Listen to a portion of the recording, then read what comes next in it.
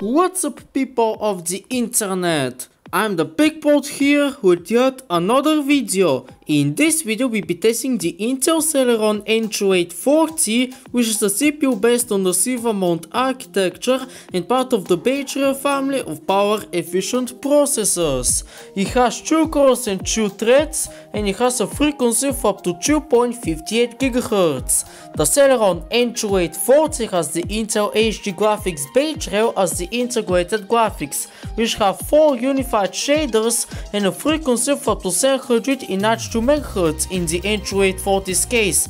It's also based on the Intel HD 4000's architecture while using the latest driver suite available. You also have 4GB of RAM in single channel mode, as well as a slow hard drive for the operating system and an external one on which the game is installed. As for operating system, we're using Windows X-Lite Optimum 10 Pro version 2. All the specs are in the video description. The game we'll be benchmarking today is Assassin's Creed 1. Shout out to the bro who requested it. We're gonna be running the game in DirectX 10 mode because I found out that the game runs noticeably better in DX10 instead of DX9. Also, the game has a problem where it freezes for a few seconds and then goes on every minute or so. To fix it, what you have to do is either that stuff above or to disable your internet connection every time before playing the game. Anyway, let's get straight to the points now.